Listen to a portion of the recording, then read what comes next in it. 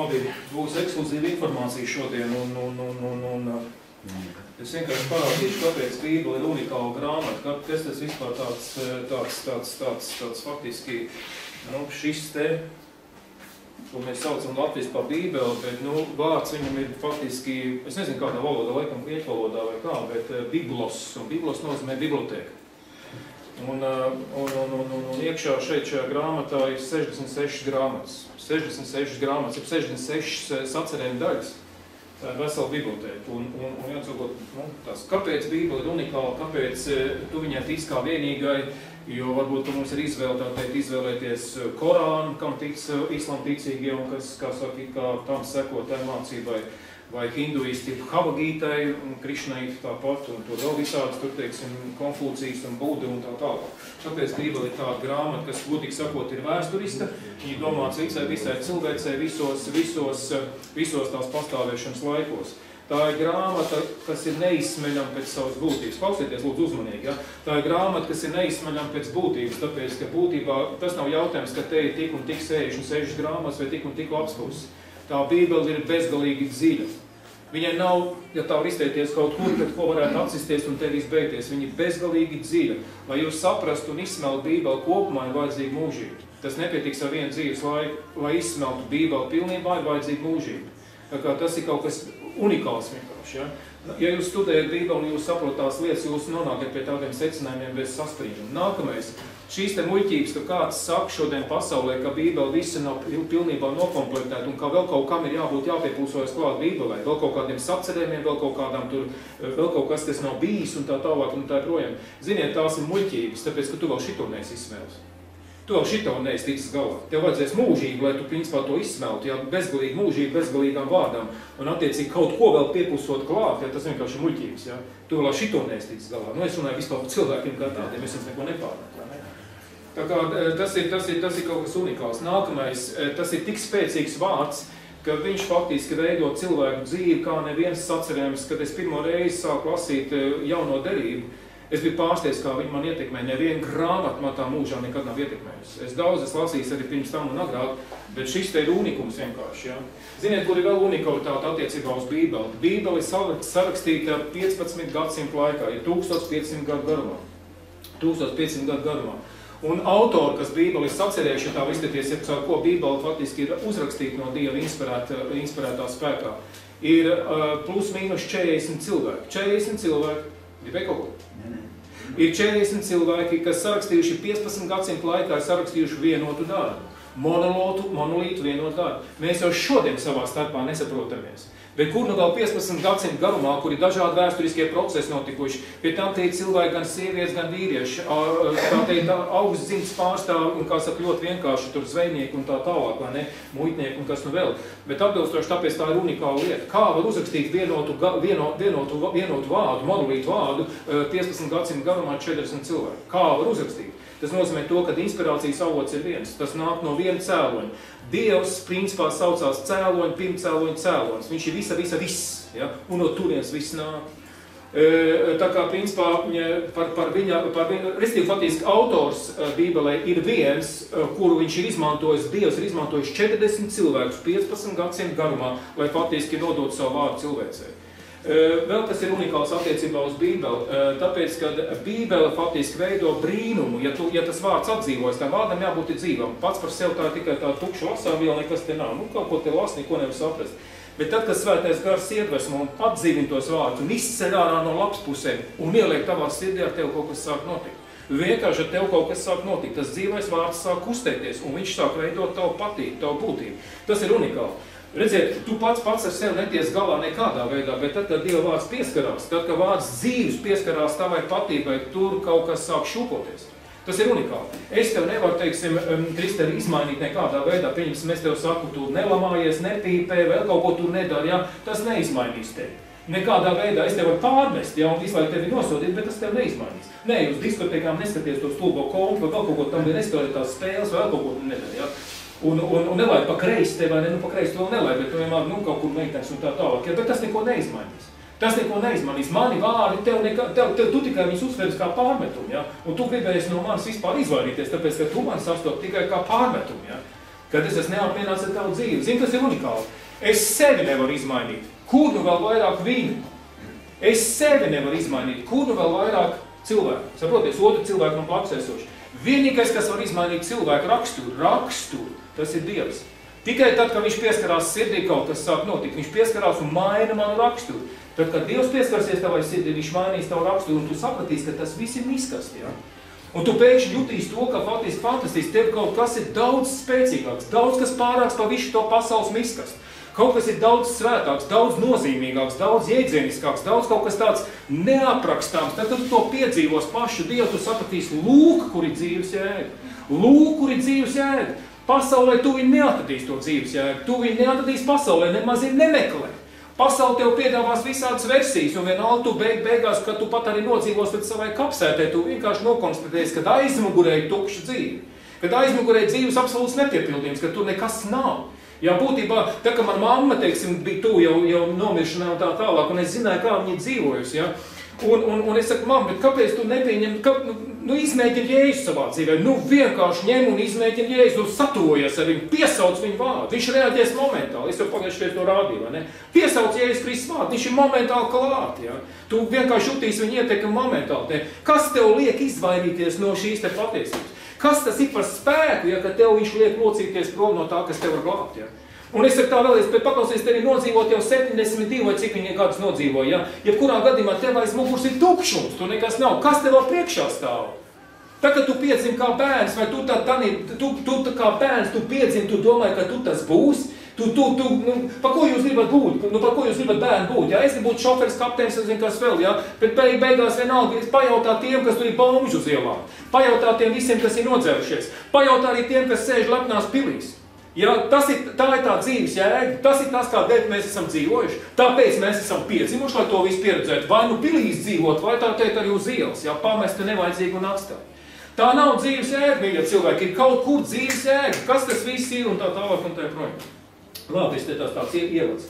Es pacentos šodien runāt ļoti mierīgi un, un, un nesteidzīgi un tā, lai faktiski mēs, mīļie cilvēki, jā, lūdzu ieklausieties dzīvības loģikā, es tā gribētu teikt. Ieklausieties lūdzu dzīvības loģikā, tāpēc, ka pat avīzēs par to nerakst un televizorā par to nerunā. Jā, tas ir ieklausieties lūdzu dzīves loģikā un nepalaidiet garām šīs nozīmīgās minūtes, es varētu teikt tā. Ja? Tāpēc, ka tas var izšķirt jūsu likteni, izšķirt jūsu likteni pareizā virzienā. Ja? Jo es saku vēlreiz, pagājušajā es teicu, jūs nevarat iedomāties, ka Jēzus Kristus būtu ar automātu plecā vai, ar, vai kā pirāts ar vienu to pārsētēto aci vai ne, vai vēl kaut kāds baigais tāds vai ne, un tā tālāk. Ja? Nē, Jēzus Kristus ir augstākā mērā loģisks un tā tālāk. Kas ir tas, kas liek man patiesībā absolūti nešaubīties par to, ka šī ir absolūta patiesība? Es vēlreiz saku, absolūta patiesība. Ieklausieties šajos vārdos, tā ir absolūta patiesība un alternatīvas jeb cita aizstājēja viņai nav. Korāns faktiski atpūšās. Korāns valstīs pilnīgs lūzers, ja tu salīdzini visu loģiku ar Bībeli. Pilnīgi. Viņi var strīdēties, viņi var spricināti, viņi var pacelt pret mani ieroci, jā, labi, lūdzu, šaujiet nost, jā. Es, Bībeles unikalitāte ir tajā, ka es, redziet, jūs esat ievērojuši, ka islāma ticīgie, ja Korānam piedarošie cilvēki, jā, viņi nepiedodoši cilvēki. Tā kā viņiem kaut ko pasaka pa Muhamedu, jā, viņiem tur iet pa gaisu visu, jā. Viņi nepiedod, bet mūsu Dievs ir piedodošs. Ko tas nozīmē, ka viņš tev piedod? Tas nozīmē to, ka tev ir izredzes. Tas nozīmē to, ka tev ir iespējas virzīties tālāk, ka kāds tomēr piedod, pie tam absolūtā patiesība tev piedod. Tas ir unikāli. Korāns to nenoveic, un viņš faktiski rāda agresīvu, naidu, ja nepatīk, ja nepiedošanu un tā tālāk. Ja tu man kaut ko teiksi pret Jēzus Kristu, ja tu man viņu apsmiesi vai, vai kā tam līdzīgi tam kungam, kas man ir vissvētākais un kas man dzīvē nozīmē visu, ja, es nesatrisošos. Es būšu mierīgs, tāpēc, ka es zinu, ka arī tev vajadzīga glābšana, mīļais cilvēks, kur tu tagad vai ne. Tev arī vajadzīga tā teikt, šīs te, šīs te kā saka, apžēlošanas process no, no augstākā, kas ir Dievs, ja. Un ziniet, kas paliek, ja tu salīdzini, ja viņi saka, tā ir patiesība, Korāns pieņemsim, nu labi, noliksim trīs grāmatas, ja, tātad Bībele, Korāns un Havagīte, tie visi, kas hinduismam pieder, vai ne, un visi tie tur, Jūs saprotiet, kas liek. Ja tu uzskati to, ka visas šīs trīs grāmatas, nu, es varbūt, lai jūs labāk varētu to visu saprast, ja tad, tad zīmēsim tā. Reku ir Bībele, es likšu kā centrālo. Bībele. Bībele. Tad mums ir Korāns. Tad mums ir Havagīta. Ha, nu, ē, nu, lai tā kas te paliek, ja. Restīvi viena grāmata, vēl viena grāmata un vēl viena grāmata. Trīs grāmatas. Un ziniet, kur ir tā lieta, es biju šī faktiski paaugstināju to lietu, ja?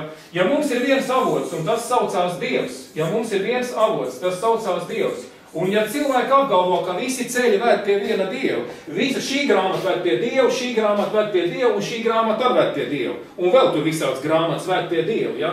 Tāpēc, ka tas ir vārds, tas ir vārds, tas ir vārds, ja? Tu tā var ticēt, var neticēt, tas ir vārds, tas ir vārds, un šis te ir vārds, viss ir vārds. Mēs dzīvojam vārdu okeānā, visur ir vārds, vārds, vārds, vārds. Tu tagad sēdi uz krēsla, kas ir vārds krēsls. Mēs lietojam vārdu, mīļie cilvēki. Kameras, sienas, sienas grieztī, es nezinu, viss kas brilles, pilspauda cilvēks, vārds, vārds. Mēs runājam vārds un mēs dzīvojam vārdu okeānā. Vai nu materializētā vārdu okeānā, vai, kā saka, arī tādā, kā lai pasaka, neredzamā vārdu okeānā. Redziet, ja viens pirmcēloņa cēloņa cēlonis ir Dievs, ja, tad lūk, ja, un ja cilvēki apgalvo, ka visi ceļi vēd uz Dievu, tā teikt, ja, ziniet, kas ir interesanti, šis te vēd pie Dievu, ja, šitas vēd pie Dievu, un šitas vēd pie Dievu, nav problēma. Ziniet, kas ir interesanti, bet šīs te visas grāmatas pats par sevi ir absolūtā pretrunā. Pretruna, tur ir pilnīgi pretruna. Ja jūs salīdzināsiet šīs grāmatas savā starpā, tur ir pilnīgi pretruna vienam ar otru. Ja? Tas nesā, nekādā veidā neapgalvojot, ka Dievs, kas ir absolūti, viņš nav pretrunā. Dievs nav pretrunā, viņš ir absolūts savā, savā, savā, savā veidojumā, viņš nav pretrunīgi, viņš nav sašķelts iekšēji. Dievs nav sašķelts iekšēji. Tas, tas ir kaut kas, kas sauc sev par patiesību. Ja es teicu, es esmu patiesība, ja? ceļš un dzīvība. Respektīvi, Dievs nav pretrunā, tad kāpēc viņš kā Dievs rada pretrunīgas grāmatas? Kaut kur mēs laižam šķērsām, jūs saprotiet man, ja? Jūs kaut, mēs kaut kur laižam, palaižam garām būtību, jūs saprotiet, ja? Man tad ir jāsaka, pagaid, Dievs, kāds tad ir tavs, žēl, ka es te tā uzzīmēs, kāds tad tu esi kā vārds, kā man te labāk, kāds tu esi kā vārds, jo tu ir rakstīts, ka iesākumā bija vārds, un vārds bija pie Dieva, Dievs bija vārds, ja? Redziet, kāds tu esi kā vārds, vai tu esi inspirējis šo te vārdu, kas saucās Korāns, tu viņu esi inspirējis? Tu viņas iedvesmojas, viņam tagad ir jāseko tev kā vienīgam dievam. Labi, tagad tu varbūt šeit šoties inspirējies, ja tas saucās kristīgā bībeli, jā, te šī te ir bībeli, jā, bībeli, bībeli, bībeli. Jā, te mēs uzrakstījām bībeli, bībeli. Jā, tas esi tu. Tālāk, kas te vēl ir jāpatīst? Vēl viens, vēl viena, vēl viena iespēja. Šīs te tu, tu esi viņu inspirējis, tas esi, tas esi tu, kas ir inspirējis šito te vārdu, jā, to kavagīt vai kaut kā tam līdzīgi. Ko man tagad darīt? Ko man tagad darīt? Man ticēt islamam, man ticēt hinduismam vai man ticēt kristiešiem? Kam man noticēt? Kur ir patiesība, mīļā cilvēki? Tāpēc, ka man ir svarīgi apzināties, kur ir patiesība. Tāpēc, ka ziniet, kas paliek lielākā daļa cilvēks dzīvo melos. Un viņi ir apčakarēti. Un ja tu dzīvo melos, tad tu esi apmuļķots. Tu dzīvo kā muļķis. Es ļoti atvainojos, ka es runāju varbūt tādās agresīvos tuļkārtās, bet būtībā tā ir. Un Bībelē saka, mēs dzīvojam tumsā, ja mēs nepazīstam Jēzus Kristu, mēs viņam nesakojam. Mēs šaujam garām. Ko man tagad darīt? Kam man ticēt? Redziet, kas paliek. Vienmēr sakot, es uzskatu vienu lietu, ja Dievs nevar, eh, viņš būt, nebūdams, nebūdams pretrunīgs, iekšēji nesašķelts, kā monologs absolūti patiesība, viņš nevar iedot vienu, vienu tādu vārdu, vienu šitādu vārdu un vienu šitādu vārdu, ka šitie visi vārdi beig, beigās savā starpā nesaprotās. Nesaprotās un sāk karot un sāk karot. Te ir karš, jūs saprotiet, ja? Kāpēc, teiksim, Dievs faktiski rāda domstarpības šeit? Kaut kur mums jātiek ir skaidrībā, mīļie cilvēki. Kaut kur mums ir jātiek skaidrībā. Ziniet, kas ir unikāls attiecībā uz Dievu? Redziet, es esmu nu, nu, uzzīmējis, ka viņš ir centrālais, ja Bībeli centrālā momenta un centrālās, centrālā as. Jo tad, kad tie cilvēki apgalvo, ka viss svēt pie viena Dievu, ka viss svēt pie viena Dievu, Tad eh, faktiski tas ir tā kā tāds kalns, kur faktiski visās nogāzes svētā te pie vienas virsotnes, kā nu mēs izvēlamies šito ceļu, es eju pa šito pusi, šitas ir mans atkal dzīves ceļš, es vienalga sasniegšu virsotni, es iešu atkal pa šito virsotni, es vienalga, pa šito ceļu, es vienalga sasniegšu virsotni. Unikāls Dievā ir tas, ka jūs saprotiet, viņš sauc par taisnību, jeb taisnais. Iztaisnot, ja, ja jūs paņemsiet svētienu, nosvērsiet viņu tur lejā, jā, striķī iesvērsiet, ja, Ir tikai viens diegs, ir tikai viens šnori, ir tikai viena vertikāla. Nav vairs cita piedāvājuma slīpi tu no malām kaut kā, ja ir tikai viena taisnība, ir tikai viens, viens, viens. Un tāpēc viņš saka, ja es esmu durvis. Ja jūs neiziet pa šīm te durvīm, tad visi šitie pārējie vārdi jūs triec sienā. Jūs triec sienā, un jūs dzīve ir sadauzīta, nevis sakārtot. Viņi ir sadauzīti. Jo tad, kad vārds, tad, kad vārds, šis te vārds, ja viņš nav vertikāls, bet slīps, kā redzat, slīps piepratī virsotnē, kas ir Dievs, Tad, godīgi sakot, viņš rada nelaimīgus cilvēkus, nelaimīgus cilvēkus, ja? nesakārtos cilvēkus, faktiski agresorus, ja bandītus. Es nezinu, kas vēl paskatieties, ko viņi dara. Viņi spridzina savas bumbiņas, ja? un tā tālāk. Šitie atkal attiecīgi noliedz materiālismu, ka nav taustāmā matērija, ka nav šīs lietas. Ja? Vienmēr sakot, visas šīs grāmatas faktiski rada satans, kas faktiski cilvēks pārveido par muļķi. Ja? Tur ir muļķis. Tur ir muļķis, jūs viņi ir apstulboti, ja, tāpēc, ka kaut kas viņus pārliecina. Kas tas ir, kas viņus pārliecina? Kas? Ziniet, Dievs ir Dievs skaidrs un gaišs. Dievs ir eh, trinitārs, ja trīs vienā, vienā, vienā personā. Viņš ir tēvs, dēls un svētais gars. Viņš ir tēvs, dēls un svētais gars. Jēzus Kristus, kad aizgāja debesīs, kad viņš uzgāja debesīs, kad viņš augšām cēlās un uzbrauc, uzgāja debesīs, uzkāpa debesīs, teiksim tā, viņa godības mākslinieks pacēla augšā, viņš aizgāja. Viņš saka, es jums sūtīšu citu aizstāvu manā vietā. Un tas ir svētais gars. Un svētais gars ir persona. Viņš nav redzams, bet svētais gars ir persona. Bet kas ir Dievs? Svētais gars ir Dievs. Svētais gars ir tēvs, Dievs ir tēvs, Dievs ir dēls un Dievs ir svētais gars. Tas viss ir Dievs kas strādā vienot, kas absolūti nav domstarpībās ar sevi. Tēvs domā tieši tāpat kā dēls, dēls domā tāpat kā tēvs, un svētais gars, svētais gars domā tieši tāpat kā tēvs un dēls. Tēvs domā tieši tāpat kā dēls un svētais gars. Viss ir vienots, jūs saprotat. Un tagad nāk svētais gars, un viņš saka tādiem lietām. Tas ir, es jums sūtīšu patiesības gadu. Evo, patiesības gadu. Tas nozīmē to, ka tā patiesība nāk no debesīm, viņa cilvēki. Viņus jūs tevi neatradīsiet šajos te dzīves koridoros un, un, un tranšajās un labrītos. Te jūs neatradīsiet neko no patiesības. Patiesība nāk no augšienes, un tā ir pārstāvēta svētajā garā. Patiesības gars, pati patiesība, iedvesmo tevi, ja tu laidi viņu sev klāt. Iedvesmo tevi, lai tevi pārliecinātu, ka šis ir vienīgais ceļš attiecībā uz Bībeli. Redziet, es jums pateikšu vēl vienu unikālu lietu. Korāns, jeb, jeb, jeb šie te, kā saka, islām ticīgie. Viņi netic un mullas viņam māca un stāsta un visi šie te, te gudrinieki. Viņi māca vienu lietu, ka Dievs nevar būt trijās personās - Tēvs, Dēls un Svētais Gars. Nevar. Ziniet, tad, kad Dievs mūsu kristietīgais Dievs pārstāv sev trijās personās kā Tēvs, Dēls un Svētais Gars, tas runā to, ka viņš ir attiecību Dievs. Viņš ir attiecību Dievs, viņam pastāv attiecības, harmonisks, absolūts, stabils attiecības savā starpā. Tas nozīmē to, ka tur funkcionē mīlestība. Tur faktiski, ja tev iesēdinās, ja tev paņems un izolēs tev no attiecībām, izolēs tev no attiecībām, iesēdinās tev, kā saka, čokā vai, ne, vai, vai, vai, vai cietumā vai ne, Vienot sakot, tu būsi nelaimīgs. Tāpēc, ka Dievs ir radījis mūs pēc savu tēlu līdzības, un tas nozīmē to, ka faktiski tu esi sabiedrisks, jeb sociāla būtne. Tu esi sabiedrisks cilvēks vai sociāla būtne. Tu nevari bez sabiedrības. Un ja tevi izolē no attiecībām, būtībā sakot, tas ir drausmīgs sots. Tāpēc, teiksim, nu, cilvēks uz nāvu, kurš notiesā, ja viņas ieliek čokā vienkamerā, nu, faktiski pat divi tur dzīvo, bet vienalga. Attiecība Dievs. Korāns apgalvo, jeb šīs te vārds apgalvo, ka nevar būt trīs dievi. Kā nevar būt trīs dievi? Mīļie cilvēki, mūsu trimtārais Dievs ir Dievs trijās personās. Dievs viens skaitlī, bet trijās personās.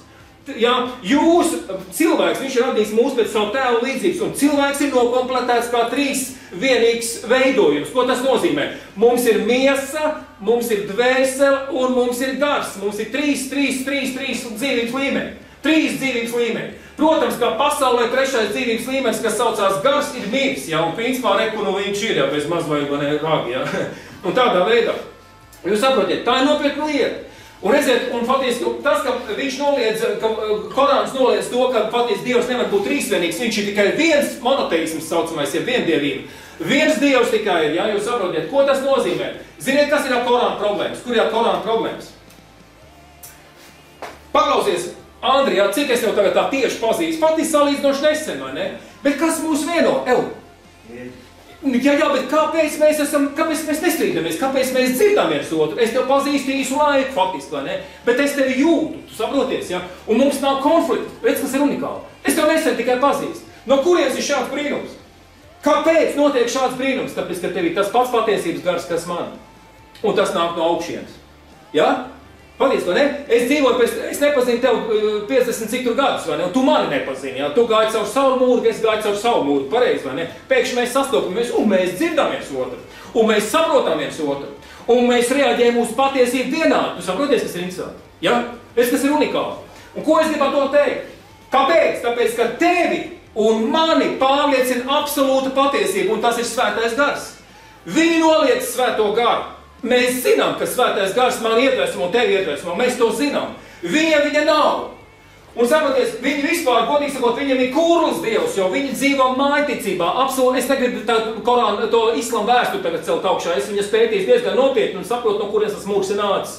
Bet, ja kurā gadījumā lūku viņiem problēma, lūku viņiem problēma. Viņam nav svētais gars, viņam nav patiesības gars, viņam nav šis svētais gars, nevis ļaunais gars, bet svētais gars. Viņam nav šī personība, Dieva personība, nav viņos. Un ziniet, kas ir pa problēmu? Viņus nav kas māca. Viņus nav kas māca. Viņus nav kas māca. Mūsu visus māca viens svētais gars. Viņš saka, es jums sūtīšu, un tas jūs mācīs. Viņš saka, es jums sūtīšu citā aizstāvu tas patiesības gars, kas jūs mācīs. Viņš mūs māca. Tagad dotajā momentā māca mūsu svētais gars. Jo man jābūt iedvesmotam no svētā gara, lai es varētu iemācīt. Jūs saprotiet? Mani Dievs māca svētajā garā, un es varu tagad jums šito visu stāstīt, tāpēc, ka tas ir, tā ir viņa mācība. Jūs saprotiet? Viņš kaut kādā veidā mums inspirē uz loģiku, kaut kādā veidā liek mums to dzīves ceļu iztaisnot tā teikt atbilstoši patiesībai. Es nesaku, ka es esmu patiesība, un es nesaku, ka es visu zinu no patiesības. Bet Korāns iekšē ir sašķelts ka Muhamedam savā laikā Saudārābijā ebreji jautāja, ka viņš vēl tikai, kā saka, viņš bija, viņš bija epileptiķis un tā tālāk, viņš tās te lietas, vai ne? Bet tad, kad viņam jautāja, kāpēc Korānā ir pretruns, ir tā saucamās antinomijas, jau viņš palika dusmīgs, tāpēc viņš nevarēja to izskaidrot. Bībelē an, uh, pretrunu nav, Bībelē viss ir harmoniski sastaicīts, tur ir tā saucamās antinomijas, bet tad, kad tu lasi svētajā garā, tad, kad svētais gars tev dod atklāsmi, pretruns pazūd. Pretruns pazūd, mīļā cilvēka, totāli, pilnīgi un absolūti. Ja tu zini, wow, kāda loģika, iekšējā apslēptā loģika. Ja? Nākamais, kas ir, jā, tāpēc, ziniet, kas pat viņiem nav, kas viņus māca, ja līdz ar to patiesi, ziniet, kas paliek.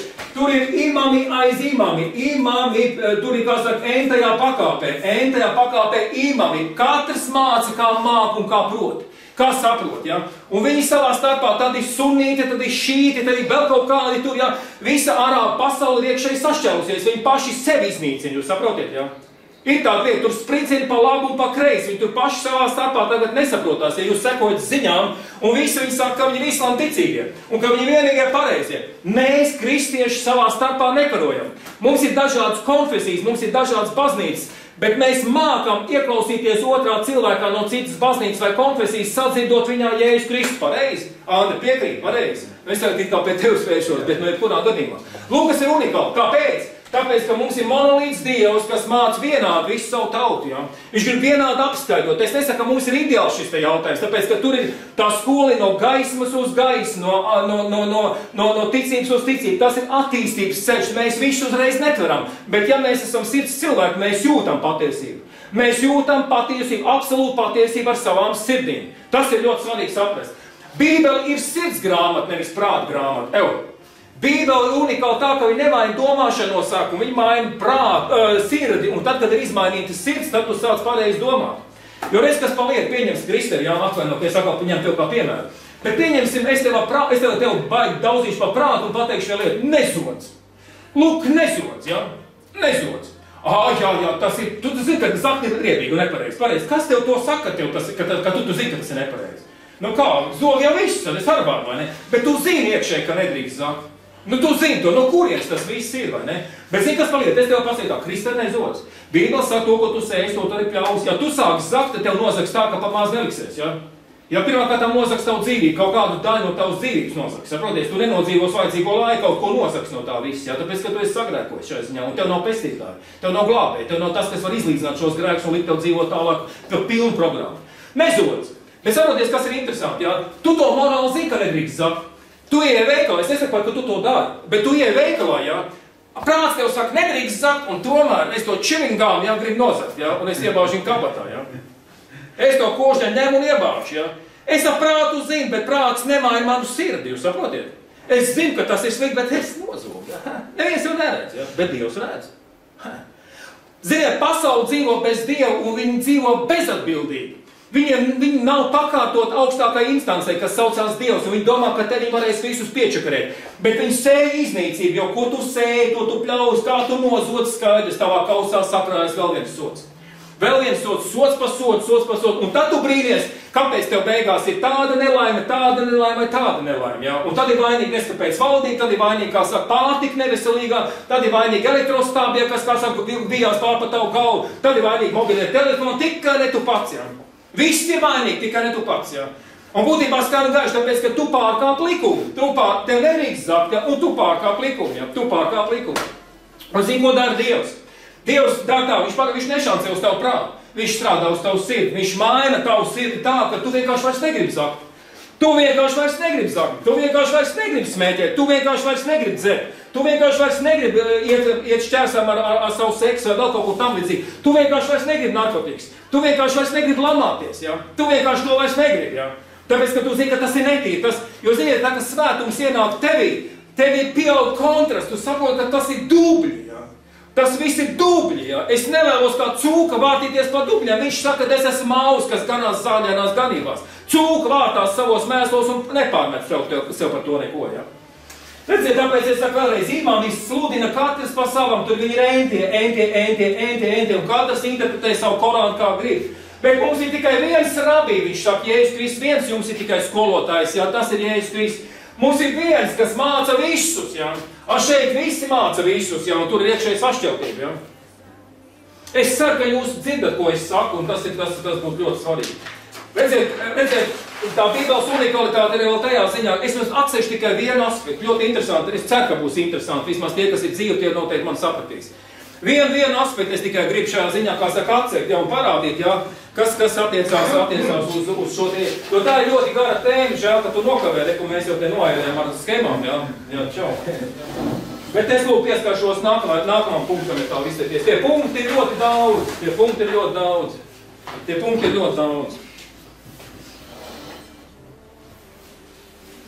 Kas liek tev faktiski nu, secināt, ka, ka, ka, ka ka Bībele ir vienīgā grāmata patiesībā. patiesībā. Viens no aspektiem, tādi ļoti daudz punktu, viens no aspektiem, kur ir viņas unikalitāte, un es to pateikšu, lūk, kur ir viņas unikalitāte. Es jau teicu, Bībele ir uzrakstīta 15 gadsimtu laikā, 40 autori to ir rakstījuši, dažādos vēsturiskos etapos esot, un, un, un faktiski kā varbūt cilvēki dažādos vēsturiskos posmos dzīvoja 40 autori, sievietes, vīrieši, dažādas sociālās grupas pārstāv un tā tālāk uzrakstīt monolītu darbu. Faktiski, protams, ka Dievs lieto mūsu visus jau un attiecīgi faktiski inspirē un uzraksta vienu loģisku, vienu monolītu iekšēji absolūti uh, saslēgtu, ieslēgtu loģikā darbu. Ja. Bībeles unikalitāte ir vēl tajā ziņā, ka viņai pastāv tā saucamā iekšējā garīgā loģika. Nevienai grāmatai tādas nav. Viņam pastāv iekšējā garīgā loģika. Ko tas nozīmē? Bībele pati spēja sevi pamatot un paskaidrot. Viņai nevajag paskaidrojums no malas, viņa pati spēja paskaidrot. Ja es teicu to, ka vienīgais, kas mums attiecībā salīdzinām ar Korānu, salīdzinām ar Kavagītu vai vēl kaut kādiem tur sacerēmiem un salīdzinām Bībeli, tad viens ir unikāls tas, ka faktiski, eh, eh, ka principā eh, to iekšējo loģiku, to, to, to, to iekšējo garīgo loģiku faktiski var nodrošināt tikai Dievs. Tikai Dievs. Ko tas nozīmē? Tas nozīmē, pieņemsim tā, matemāti, viņam nevajag pierādījums no malas, viņš ir absolūti patiesība, un viņš faktiski to visu nodevis vārdā, un tagad viņš to ceļ augšā atdzīvina ar svēto garu, kas saucās patiesības gars, un tu sāci funkcionēt patiesības, tā teikt, sfērās. Viņam nevajag kādu pierādījumu no malas, viņš pats ir pilnīgi absolūts lielums, lai viņš varētu pierādīt un pamatot, ka tā ir vienīgā patiesība. Tas ir, tas ir fakts. Nākamais. Matemātika izskaidro pati sevi. Ja mēs skatāmies teikt, uz šo eksakto galu, ja, matemātika ir tik iekšēji loģiska, ka viņa pati spēja paskaidrot pati sevi. Divreiz divi ir četri, un tu vari zils palikt, nepierādīs neko citu. Ja. Neko citu tu nepierādīsi. Tā ir matemātiskā patiesība, tā ir matemātiskā iekšējā loģika. Ja. 2 plus 2 ir 4. Ja. Grozi kā grib, tas ir vienkārši tā kā akmenīgs iesits. Ja. Un viss. Ar Bībeli tieši tas pats. Ar Bībeli tieši tas pats, viņam pastāv iekšējā loģika, viņam pastāv iekšējā semantika, ne, bet e, tas eksaktisms, ja? tā, tā matemātiskums. Ja? Ziniet, kas ir interesants attiecībā uz ebreju, ebreju, ebreju tā teikt, um, alfabētu un, un, un, un tā tālāk. Visiem, kam ir valoda, un cik valodas mēs te pazīstam vai zinām, Visiem ir alfabēts. Visiem ir alfabēts. A, B, C, C, D un tā tālāk un uz priekšu. Ja? Visiem ir alfabēts. Ja? Alfabēts. Arī ebreju, ebreju burtiem ir, eh, ebreju valodā ir konkrēta alfabēta, alfabētiskā, alfabētiskā sistēma. Es nepaņemu līdzi paraugus, diemžēl es nebiju domājis, ka es varbūt šodien pie tā pieskaršos, bet man paliek, ja? Ziniet, kas ir unikāli? Unikāli tas, ka, unikāli tas, ka viņiem cipari, cipari tiek aizvietot ar burtiem. Cipari tiek vienkāršā valodā runājot. Ja mums, teiksim, ir burts A, ja, tad tas viel, pielīdzinās ciparam viens. Nu, tas ir tikai piemēra pēc. Ja mums ir cipars burts B, tad tas ir cipars 2. Ja? Viņi, viņiem ko tas nozīmē? Tas nozīmē, un ja, teiksim, burts C ir cipars 3. Viņi ko dara? Viņi dara vienkārši. Viņi paņem tādu vienu lietu, ja, ka vienmēr sakot A plus, uh, plus B plus B ir C. Jeb loģiski 1 plus 2 ir 3. Jūs saprotat šo te loģiku? Jūs saprotat šo loģiku? Visa bībele ir uzrakstīta šādā ciparu valodā. Jo, principā, man nav, diemžēl, līdzi piemēri, ja es parādītu jums, ja kā faktiski katrs būrs saucās ne tikai būrs, bet saucās arī zīme. Zīme. Jūs atceraties tos kontekstus, ka viņš teica, ka, ja es teicu, ja, ka vienmēr sakot, ka, ka, ka, kas tur balstīts rakstu mācītāji prasa zīmes. Ja nebūs dot neviena cita zīme, kā tikai Jonas zīme. Pareizi, zīme, zīme. Katrs burts ir zīme. Tā ir zīme, tā ir zīme, tā ir zīme. Vienmēr sakot, tas ir kaut kāds norādījums no Dieva. Tās ir zīmes, kas tev jāņem vērā, tad, kad tu faktiski ceļo pa šo pasauli. Kad tu pārvietojies pa šo dzīvi, tev ir jāņem vērā Dieva zīmes. Ja tev ir jāklausās Dieva vārds. Dieva vārdu sakopojums, jeb zīmju sakopojums. Saprat, tās ir zīmes priekš tavas dzīves. Tās ir zīmes priekš tavas dzīves. Ziniet, tad, kad viņi sasūmē šos te lietas, to sauc par hemotriju. To sauc par hemotriju. Tā ir hemotrija. Es jums vienkārši tagad atklāju hemotriju. Ja? Es jums vienkārši atklāju tagad dotajā momentā Bībeles unikalitāti. Vienu no aspektiem tikai. Vienu no aspektiem. Tas nav vienīgais, bet vienu no aspektiem. Tas saucās hemotrija. hemotrija. Skaitļu, tā teikt, skaitļu, burti pārvērst skaitļu sistēmā. Līdz ar to, tad, kad jūs sākat skaitīt ciparus kopā un sākat skaitīt vārdus eh, kopā, burtus kopā un tā tālāk, jūs iegūstat gar, eh, garīgo loģiku izteikt ciparu valodā. Ew. Es zinu, kā to nodarbojas ļoti spēcīgi kabalisti, bet ne par to mēs tagad šodien runājam. Es tik unikāli, saprotiet, jā, cilvēks, vispirmkārt, cilvēks nevar uzrakstīt, iedve, būt, nu, būt iedvesmots tā, ka viņš varētu uzrakstīt garāku vai īsāku sacerējumu. Vai tā būtu novela, vai tas būtu dzējols, vai tas būtu garstāsts, vai tas būtu romāns, vai tā būtu triloģija, vai es nezinu, kaut kas vēl. Ja? Viņš nevar uzrakstīt tik biezu grāmatu ja? ar iekšēju garīgo ciparu loģiku. Nav iespējams. Tev neviens tā neiedvesmos, lai tu uzrakstītu, ja, kad uh, reiz dzīvoja, nu kā pasakās rakstā, reiz dzīvoja, ļa, ļa, ļa, ļa, ļa, un tagad tu paņem šito te tekstu, ja, un saskaiti visus burts, un tu kaut ko loģiski tur ieraudzīs, neko tu tur neieraudzīs loģiski. To, tas ir, tas ir šedevrs. Cilvēks to nespēja izdarīt. Tas ir šedevrs. Es saku vēlreiz, tas ir šedevrs. Tas nozīmē to, ka Dievs ir tik absolūts, ka viņš patiesi garīgās lietas spēja izteikt pat matemātiskās formulās. Garīgās matemātiskās formulās. Piemēr pēc. Piemēr pēc. Nu viens piemērs, teiksim. Nu daudz tādu piemēru. Labi, es, es, es pāriešu uz nākamo. Paskatieties. Vārds ticība. Vārds ticība. Tī, cī, ba. Neputosimies ar vārdu ticība, tāpēc, ka ticība ir dažāda veida ticības. Cilvēki arī tic te pasaulē būdam bez Dieva. Viņi tic. Bet saprotiet, ka ir runa par ticības galveniem līmeņiem, tad nu, es, ne, es neizplūdīšu tur garu un diktu, tāpēc, ka tā ir vesela, pilnīgi vesela studija un vesels, vesels mācības komplekss. Bet pat kristieši būtībā šajās trijās priedēs ir nomaldījušies, kā es uzskatu. Ja? Pirmkārt, ir ticība no sātana, tā ir sātana personīgā ticība. Tad ir cilvēka ticība, tā ir cilvēka personīgā ticība. Un tad ir ticība, uh, dieva, dieva ticība, dieva ticība, dieva personīgā ticība. Ir trīs galvenie ticības līmeņi esamībā - sātana ticība, cilvēka ticība un dieva ticība. Tad, kad mēs piedzimstam no augšienes, tad, kad mēs piedzimstam no augšienes, tad viņš saka, ka viņš faktiski svētajā garā jums kā ienāk mūžīgā dzīvība, restīvi svētā gara dzīvība ienāk tevī. Un svētais gars jūs māca, jā, māca ar vārdu, māca ar, ar, ar atklāsmēm, māca, māca. Tu, tu, tu ej iekšā un tu sāc sakot. Vārds sāk veidot tavu iekšējo pasauli, tāpēc, ka tas ir dzīves vārds, kas šivrē tur. Un tā ir brīnums ar tavu raksturu, ar tavu domāšanu, ar tavu, ar visu viņš tā iztur visko, jā. Un redziet, tad, ka rakstīts tā, ka no ticības, ieklausieties uzmanīgi, Bībeli saka, no ticības taisnais dzīvos. Nevis grēki, viņi arī tur tic, bet viņi nedzīvo, viņi mirst visu kā mušas. Bet ticībā taisnais ir konkrēta kategorija, taisnie, un tas ir atkal atsevišķa spēdīga daļa. Taisnais no ticības dzīvos, ticībā dzīvos. Tas nozīmē to, ka tai ticībai jānāk no augšienes. Viņa nevar nākt no tevis, viņa nāk no augšienes, tāpēc, ka tur rakstīts, ticība nāk un ne no tevis. Ticība nāk no Dieva dzirdētā vārda, no dzīvās remas, ja no Dieva pateiktā vārda ticība rodās. Jo, jo Dievs rada visu ar vārda starpniecību. Viss vārdu okeāns, taustāmais, netaustāmais, viss ir Dieva radīts. Arī tagad mēs runājam vārdu, visu laiku ir vārds, vārds, vārds, vārds, vārds. Mums ir jānorientējas vārda, vārda. Tajos vārdos mums ir jānorientē, kur ir tie vārdi, kas formulē patiesību, ja kuri ir tie vārdi, kurus kas pārstāv patiesību. Man jāatpazīst patiesība pa gabalu. Es esmu sirds izveidots tā, ka es reaģēju uz patiesību. Man nevajag informāciju klusu, tukšu. Ja? Man vajag vārdu, kas man inspirē un reku ir patiesība runā. Patiesība, ja es visu kā patiesību runā uz mani, runā māca man. Ja?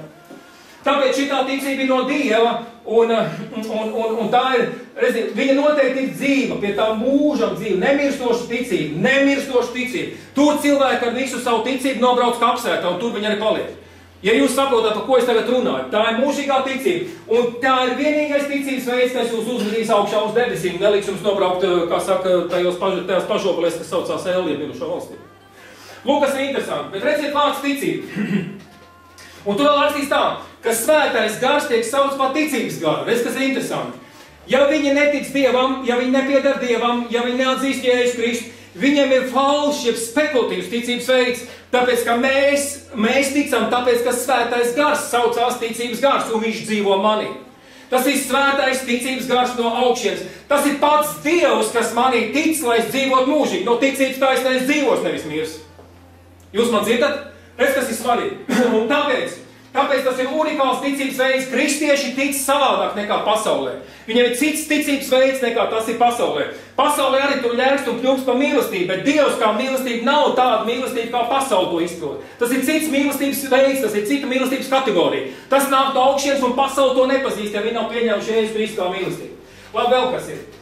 Ticība, hematriski, hematriski, hematrija, vēlreiz atcerēsimies, hematrija, hematrija, hematriski, hematriski. Hematriski. Ebreju valodā vārds, um, es viņu nenosaukšu, tāpēc, ka jūs sāksiet smaidīt, un, un, un, un varbūt es tāpēc viņu nenosaukšu, jo tad tur viņš robežojas it kā ar...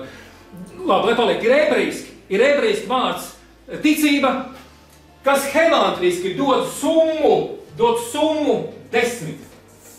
Desmit. Ja jūs sasaitīsiet vārdus, vārdus ticībai ebreju valodā, visus tos burtus saskaistīsiet, jūs iegūsiet summu desmit. Desmit. Desmit. Jūs zināt, kas ir desmit? Nu, kur, kur fantāzijas aiziet uz desmit attiecībā? Ja? Jūs zināt, ir desmit baušļi, pareizi. Ir desmit baušļi, ir pamat kodeks, jā, tas, tas, tas, tas, tas, desmit baušļi, jā, pilnīgi pareizi. Bet es jums parādīšu vēl vienu unikālu lietu. Paklausieties, te kāds ir nodarbojies ar šaušanu, loku šaušanu, vai, vai, vai, vai nav bijuši daudz cīņnieki, jūs te viens vai kaut kādi šāvēji pa kreisi vai pa labu, vai kaut kā tam līdzīgi. Nav te neviens, neko nav, nav, ne, neesat nekad bijuši tajās tur. Nu, jūs zināt, ja, kad ir lūk, lūk ja mērķis, ja es nemācīšu, varbūt tā, nu, viss tas, jūs zināt šito visu, ja, reku ir mērķis, ja, reku ir mērķis, kā nu viņš tur attiecīgi tiek. Ir mērķis, pareizi ir mērķis, ja, ir mērķis. Kā šī, kāds cipars ir šeit? Desmit. Jūs nezināt? Desmit, vai ne? Desmit. Pareizi, desmit. Ziniet, tas paliek. Ja pasauli dzīvo neticīgu dzīvi, viņi šauj garām. Viņi netraup mērķi. Un viss tā dzīve ir sānceļš, tāpēc viņš saka, es esmu ceļš, mērķiecīgs ceļš uz dzīvi. Esmu patiesība, ceļš un dzīve. Esmu ceļš, patiesība un dzīve. Tas ir Jēzus. Viņš ir mērķiecīgs. Viņš neiet ne pa labi, ne pa kreisi. Viņš ir mērķiecīgs. Ja mēs sekojam Jēzum Kristum, mēs esam svētā gara vadīti, mēs esam mērķiecīgi cilvēki, mīļie cilvēki. Mēs esam mērķiecīgi. Mēs trāpām desmitniekā, kas ir dzīvība. Tas nenošauj mūsu bēgļus, tas mūs aktivizē uz dzīvību. Tas ir mērķis. Rekuji, teiksim, skaidru gaiši 1. Eh, korintiešiem 8. nodaļa. 1. korintiešiem 8. Bet mums, mums ir tikai viens Dievs, tur ir rakstīts, tēvs, no kura visas lietas, ja tu pieder Dievam, tev faktiski nav jāsatraucās par savu dzīvi. Viņam ir visas lietas, pie tam bezgalīgi. Viņš nav savairojis un salicis noliktavā un čau. Viņš ir radītājs, radītājs, radītājs, radītājs, radītājs. No nekā viņš rada atkal, ja? Tā ir atsevišķa saruna. Bet mums ir tikai viens Dievs, Tēvs, no kura visas lietas, un kurš ieklausies uzmanīgi, kurš ir mūsu ilgu mērķis. Kurš ir mūsu ilgu mērķis? Ja es ticu Dievam, dzīvi, ja es ticu Dievam, es esmu nomērķējis uz desmitnieku. Un tas nozīmē to, ka faktiski es dzīvoju saskaņā ar pamatkodeksu jau desmit baušļiem. Jūs man dzirdat? Svētais gars tev ved uz svētdzīvi. Svētais gars, ka tu seko Jēzu Kristu un tu seko pareizi, tu esi pareizi ceļa gājējs. Tu esi vienīgā pareizā ceļa gājējs. Tu neej pa sāceļiem, tev nevajag neviens ne kaut, kaut, kaut kādā stupceļā, vai no kaut kāda, uz kādiem ceļiem, kurus tu, teiksim, tu zini, kur ir problēma pasaulē. Pasaule norāda, vieni, norāda vienīgo absolūto ceļu, kas saucās Jēzus Kristus. Un problēma ir nevis tas, ka viņi grēko, problēma ir tas, ka viņi iet ne to ceļu. Un tie visi ceļi ved uz kapsētu. Tie visi ceļi ved nāvē. Ir vienīgais ceļš šeit šajā pasaulē, kas izved tikai vienīgi tev uz pareizām durvīm. Tas ir Jēzus Kristus. Ja tu viņam seko, tu neseko nāvei, tu seko dzīvībai. Mm?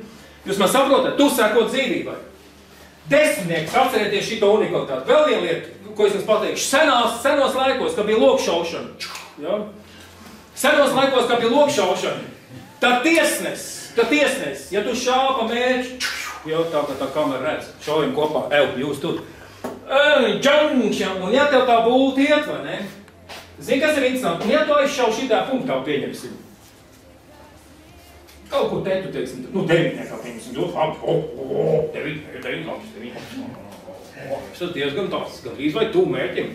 Ja nu man patīk reizēm, tur varbūt arī ekstrasensi vai, vai, vai varbūt kaut kas, nē, nē, viņa, viņa, viņa, viņa varbūt arī tur kas ar kaut ko tur runā, tā, viss jau vērt pie viena kalna, visotnes, ļaļa, ļaļa, ļaļa, ļaļa, tu, tu, tu šau garām jau.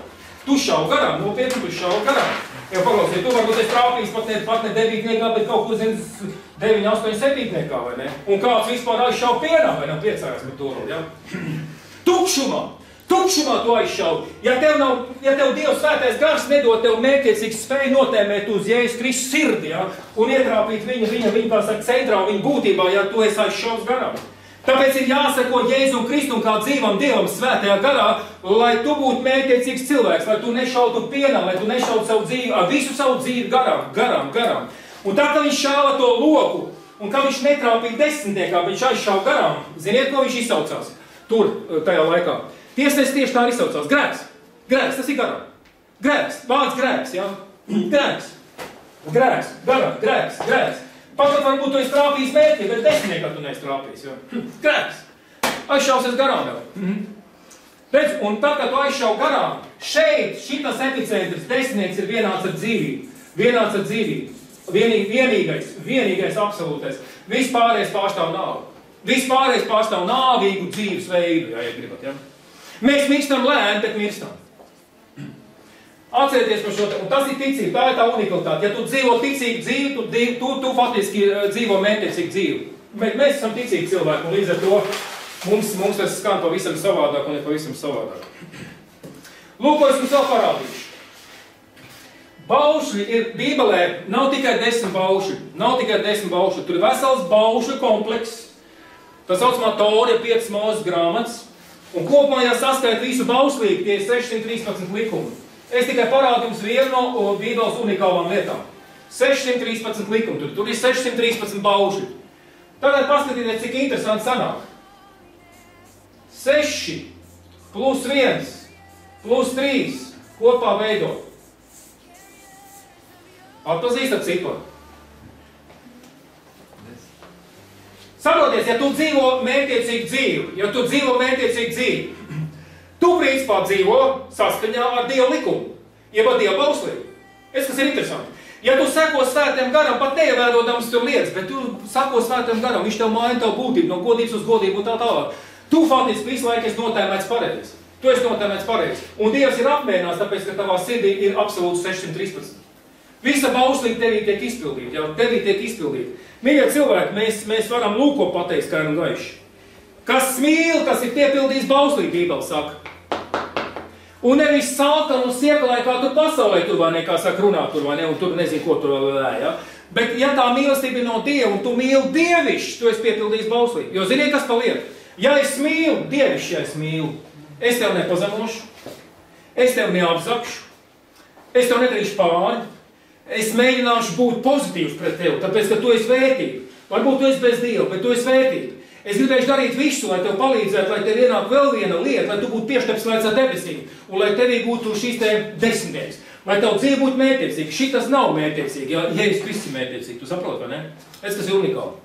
Esi tāds kolosāls dzīves snaipers, kas tēmē uz dzīvību, ja? Nu, tādā ziņā, ka tu viņu nenošaus, viņš ir mūžīgā dzīvība, vai ne? Tas ir interesanti. Tur ir tā, ja, ka tu, tad, ja tu šausi Jēzum Kristum sirdī, tad tas rikošatēs atpakaļ nevis ar nāvu, bet ar dzīvību. Ja? Viņš tev atšaus atpakaļ ar dzīvības. Ja? Trāpi tikai, trāpa savu sirdi pareizi. Ja? Lūk, kas, ir, kas, kas mīl, tas ir piepildījis bauslību. Kur man te palika? Te ir rakstīts tā, ka likums nepārmet neko mīlestībai. Tas neko, ne, ne, ne, nekādā veidā, nekā, nekā, nekā, nekā, nekā, nekā.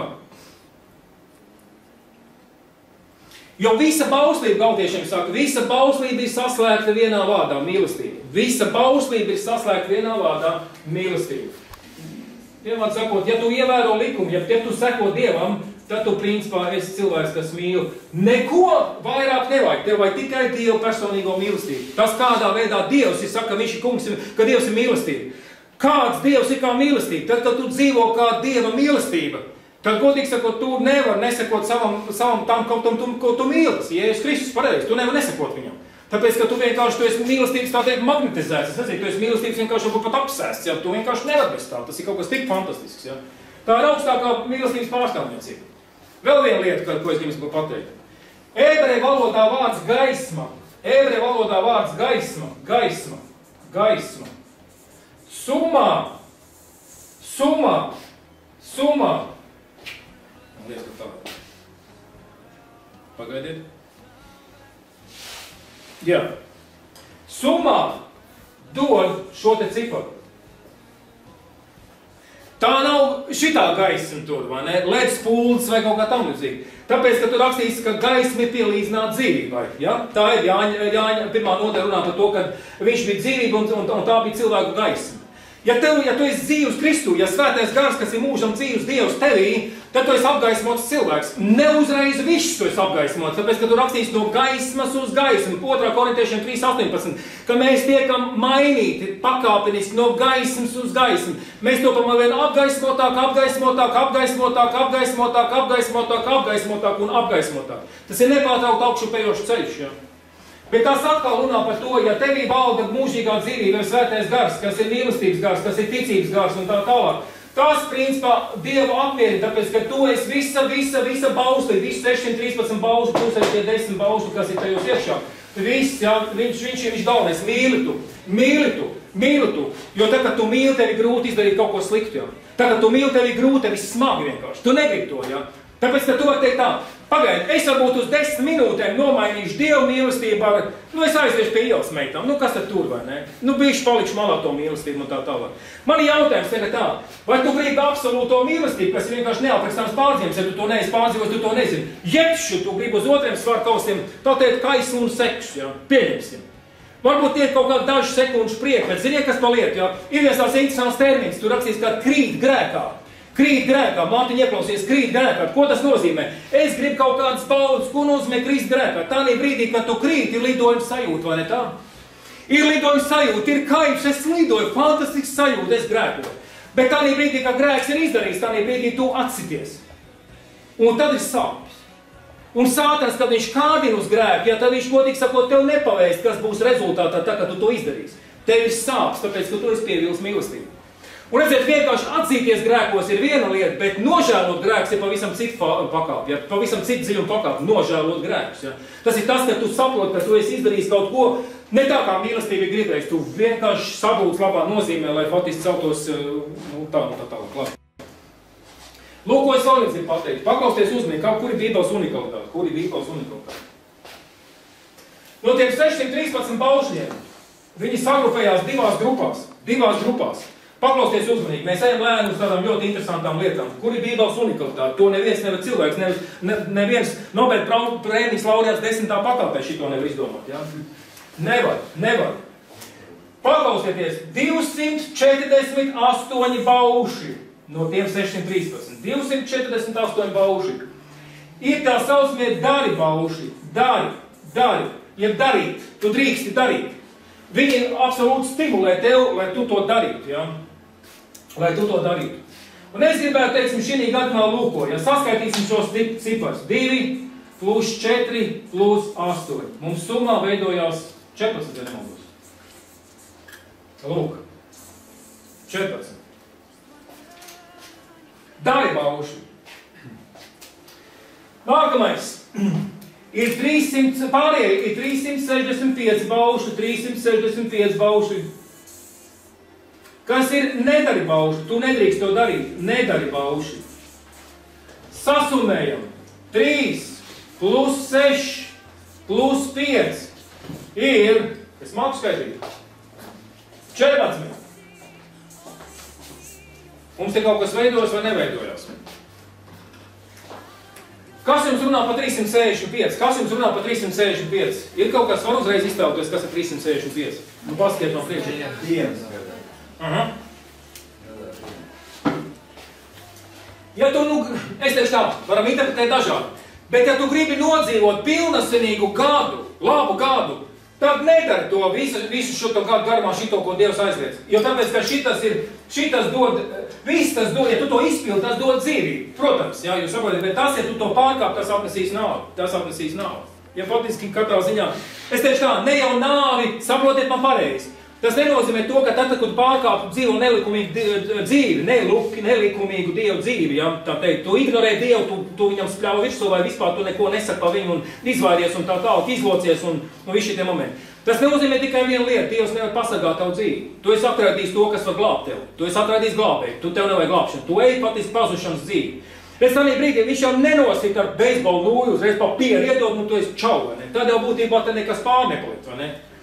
Pasaule ir krimināls, faktiski cietums. Pasaule ir cietums, kur cilvēki sēdētam katrs savā dzīves kamerā, kā, kā likuma pārkāpēji, ir principā nelaimīgi. Paklausieties, kā cilvēki domā, kā cilvēki runā, par ko, kā viņi spriež, kāda viņa filozofiskā sistēma, ko, uz ko viņi tendēt un tā tālāk. Tur redz absolūts cietums. Absolūts cietums. Un lai tas cietums nebūtu tik smags, ko viņi dara, viņi met pa lampu. Viņi aiziet tur čukvana, uzstājas šito visu, vai ne? Un vēl kaut ko narkotikas, jā. Viņi grib aizmirsties, jā. Tāpēc, ka tā ir pārāk smaga dzīve. Un, ja grēki uzslāņojas viens aiz otru, viens aiz otru un nav glābējis, tad to visu no tev tos nastas noņemt. Ja? Tu tik jūties ar vien smagāk, ar vien smagāk, ar vien smagāk. Paskatieties uz cilvēkiem, kas staigā pa šo te dzīvi. Kad tu esi jauns, tu esi tur nezinu, kāds boksers, ir pa, pa, pa micu, vai ne? Un, vai ne, šitie visi arī. Tā, vai ne? Bet zini, kas ir tu dzīvo, un tu noveco. Mieres ir, lai tu tomēr noveco. Un jūs esat ievērojuši, ka veci cilvēki paliek ar vien tuvāk un tuvāk tiem pīšļiem. Smagums vienkārši vēd viņus uz kapsētu. Un, ziniet, zemes epicentrā ir elle. Zemes epicentrā ir elle, tā saucamā mirušo valstība, šeol ebreju valodā. Tur viss tas ir. Un cilvēki bez Dieva dzīvo ar vien zemāk un zemāk un beigās ieguļās savā zārciņā, un zārciņš ieguļās zemē, un tā viņa apēd visu tavu jēgu. Ja? Mm -hmm. Respektīvi, tāpēc viņš saka, celiet acis uz augšu, celiet galvu uz augšu, pievērsieties debesīm. To viņš saka. Neskaties uz pīšļiem, neskaties uz horizontiem, pacel uz vertikālu to lietu. Pacel, piesauc Dievu. Tu redzēsi, kas notiks ar tevi. Ja? Sakrustojies ar viņam, tā drīkst izteikties. Ja? 248.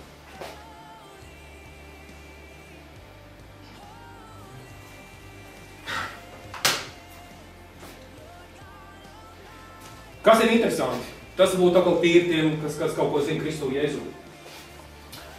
Bija Ābrams, ja, mūsu patriarks Ābrams. Ja. Viņš piedzima un faktiski staigā šo vārdu Ābrams.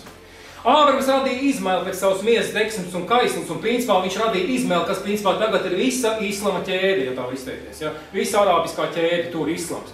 Islams ir miesisks jau, un tur rakstīts galtiešiem, ka miesiski dzimušais vajā garīgi, garīgi dzimušo tā, arī šodien tas viss notiek, un tas viss ir. Bet tad pienāca brīdis Ābramam, kad Dievs pateica, tu vairs neesi Ābrams, bet tu esi Abrahams. Abrahams, ja, he. Abrahams, ja. Viņš ielika tajā vārdā kaut kādu burtu un izmainīja visu personību. Es esmu jūris, kaut gan es esmu piedzimis kā gatis, es esmu no bērnām paņemts savā laikā.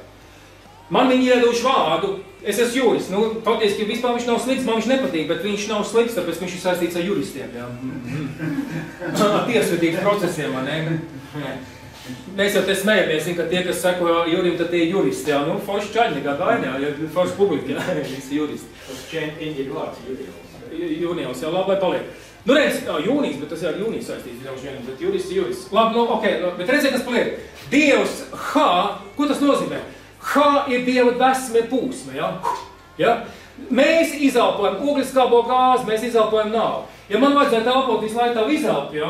tad es klietu pēc debesīm glāb man, ja? tāpēc, ka te pa daudz ir. Ja? Pēc tam tu jau varbūt neesi, tā, nav, nav tā slikākā viņa. Zini, ka tu ej maršru taksometrā bieži vien iekāpa onkuls vai tā, pa tanti tādu. Nu, viņi vakar ir pogājuši ritīgi, vai ne? Likuši tā, ka ne, pamaz neliekas. Visas autobusi vienkārši smird, cērt elpu ciet, ja? Cērt, vienkārši žēl, tur ir tāds, tur ir, tā, tur, tur ir tāds izpūtējs, ja, ka vienmēr sakot, tur, tur visu uzreiz ir līķi, ja. Es brīnos, kā es vispār spēju aizbraukt līdz savam galpunktām, vai ne? Nu, ritīgi. Ja man vajadzētu elpot visu laiku izaugt, bet zini, kas ir interesanti, Dievs dvesa cilvēkā dzīvības dvašu. Viņš izelpo dzīvību, nevis nāvu. Viņš izelpo dzīvību. O, kas ir unikāli. Un viņš iedveš jau, tāpēc, ka tad, kad Dievs dveš uz mums, viņš ir kā svētais gars, kā vējš, jau visas pneumgrieķu valodā un tā tālāk, vai ne? Ruahja ebreju valodā. Viņš dveš dzīvību. Svētais gars ir Dieva izelpa. Svētais gars ir Dieva izelpa, un tā ir dzīvība, mūžīgā dzīvība. Ja? Un vārdā Ābrahams, ja? Abrahams, ja? Šitas te viss, ja, atdzīvināja, atdzīvināja uh, patriarhu. Viņš nomainīja Ābramu ar Abrahamu. Un Abrahāms radīja Īzaku. Ja? Tā kā musulmaņi saka, mums ir viens uh, cilkstēvs, mīļie cilvēki, neputrojieties te, ja? Izmailu radīja Ābrams, bet Īzaku radīja Abrahāms, un tā ir milzīga atšķirība. Tā ir milzīga atšķirība. Tāpēc, ka tad, kad Ābrams vairs nevarēja neko, viņš bija pilnīgi faktiski jau tūk pie simts gadiem un vispārējais, vai ne? Tādā brīdī, kad faktiski tavā nevarēšanas stundā Dievs iedvež pēkšņi tavu, savu varēšanu, to dzīvību, ja? Tavs vārds izmainās, viss tavu būtība izmainās, un tu, tu dzemdē ko? Tu dzemdē Īzaku, ja? Viņš pēc tam vēl, kā saka, radīja bērnus, ja? Unikāli. Viņš atdzīvojās vienkārši. Un ziniet, kas pa lietu ir interesanti? Ābrakāma vārds hematrijā, ja? ir, ir, ir, ir, ir lūk, šis te cipars, 248 uh, skaitlis. Ja? Šis te skaitlis ir Ābrakāma. Ko tas nozīmē? Dari! Es tev iedvesmoju, dari! Ja? Wow! Svētajā garā mauc, ja, ja tā drīkst vispār izteikties. Saproties, o tur ir tā lieta, ja? Tāpēc, ka mēs vairs neesam Ābrām. Ja tu esi Ābrāms, tad tev nav 248. Tu dzīvo vēl kaut kādā tev, tevi jānomirst, lai Dievs iedod tev, ah, to burti, ja? Tu esi Abrahams, ja, un pēkšņi tu pieslēdzies šitam, ja. Mēs varam darīt tagad, tāpēc, ka Dievs dara savu iedvesmu, savu spēku, svēto garu. Viņš dara, dara, dara, dara. Viņš tev bada, viņš dara. Viņš tic, viņš dara. Viņš tevī tic, tas nozīmē, ka viņš dara. Ja? Viņš tevī pasludina vārdu, tas nozīmē to, ka viņš dara. Ja? Viņš visu laiku tev ved pa dzīvības ceļu uz augšu. Visu laiku viņš dara. Viņš sakārto tev iekšā pasauli, pēc tam viņš sakārto tavu ārējo pasauli. Viņš visu laiku dara. To es Abrahams, tas ir pieslēgts šitam te skaitlim, 248. 14, 14, 14.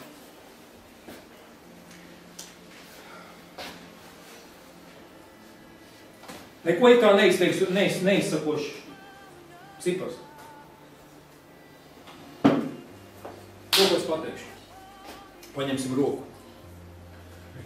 Sākam, visi var paskatīties uz savu roku tagad. Un vienlaicīgi skatīties uz mani. Skaitām falangas, mīļie cilvēki. Skaitām falangas. Viena falanga, divas falangas, trīs falangas. Katram pirkstam ir trīs falangas. Šitiem, te, šitiem četriem pirkstiem ir pa trīs, pa trīs falangām katram. Sareizniet 3 reiz 4. Ir 12, vai ne tā? Ir 12. Pielieciet tagad īkšķi, tas ir vienīgais pirksts, kam ir tikai divas falangas. Kopā sanāk 14, vai ne tā? Reiko ir viens 14, un reiko ir otrs 14. Divas rokas. Divas rokas. Divas rokas. Divas rokas. Ja tu dzīvo saskaņā ar 613, 248 plus 315, veido, veido šito visu, tu esi Dieva rokās. Ja Dieva rokas tev faktiski visu to nu, pucē uz priekšu un tā tālāk, tāpēc, ka tu esi 14 un 14 kopā, tas sastāv 28, protams, vai ne? Šitie visi momenti. Bet ko tas nozīmē, ja tu esi Dieva rokās? Dieva rokās nav nāve, Dieva rokās ir dzīvība. Tu esi dzīvs. Tu esi dzīvs, jā. Reku ir viens ļoti spēcīgs teksts, viens ļoti spēcīgs teksts. Iesajā 49, 16. Iesajā 49, 16. 49, 16 ir tāds teksts. Tas ir ieradīgi, ko es uzšķēru. 49, 16.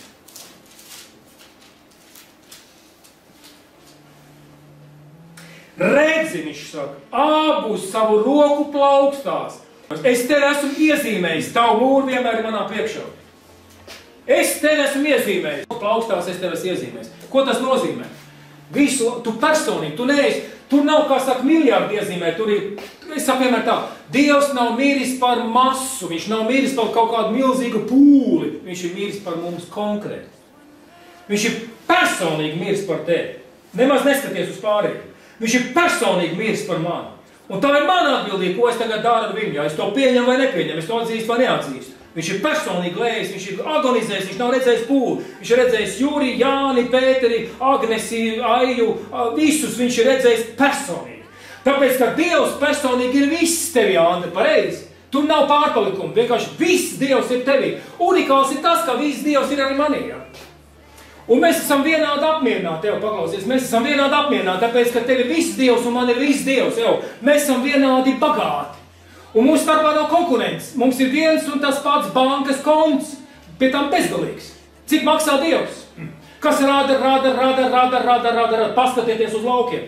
Paskatieties uz dzīvību, tāpēc, ka tad, kad tu iemet vienu sēklu, vienu graudu zemē, tu iemet tikai vienu graudu, un tam cik ir izcenojums, cik maksā viens grauds, teiksim, miezes, vai, vai, vai kviesis, vai rūcis, vai, vai, vai sorgo, vai vēl kaut kas tam līdzīgs. Jā. Iemet vienu sēklu zemē, nu cik viņš būtu viens cents, jā, eiro cents vai kā iemet. Bet Dievs dara no šīs mazās sēkliņas, vai tas ir Dievs, vai tas ir cilvēks, agronoms, es esmu beidzis agronomijas fakultāti. Vai agronoms ir tas, auzi, tu auzi, es tev iedvesmoju, auzi augšā, auzi, aslojies, aslojies, raujies ārā, iesakņojies zemē, hu, hu, hu, kas tur auga? Nav tā. Es iesēju to graudu un es aizēju Fittersēņu, ja, un tur viss kaut kas notiek, ja. Un tas ir Dievs, kas tur piepluso klāt. Ko tad viņš piepluso? Eju, tas ir unikāli. Cilvēki pārāk akli, viņi tam nepievērš uzmanību. Bet parādās stiebrs, parādās stiebrs, un galā parādās vārpa, un tur ir cik tie graudi? 60 vai cik? Nē, tu cilvēku to esi izveidojis.